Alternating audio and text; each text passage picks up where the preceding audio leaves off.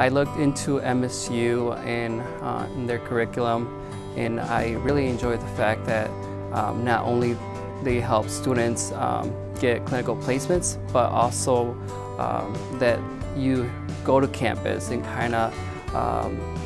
interact with uh, standard patients so you can work on those physical assessment skills um, and not just show up at a cl clinical placement and um,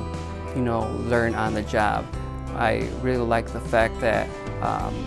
my clinical instructors are going to be there with me and they will validate that I am performing a um, the correct way um, of performing different tests and to obtain a good physical assessment. So one of the things that MSU prides ourselves on here at the College of Nursing is being able to produce very high quality nurse practitioners who can go out into the primary care setting and function um, at high levels. We are very sought after. People, um, clinics and physicians uh, contact us regularly asking us about um, graduates for their, to come work for them. We'll assist you with your clinical placements and make sure that you have the placements that will prepare you to come out to be the best nurse practitioner that you can be.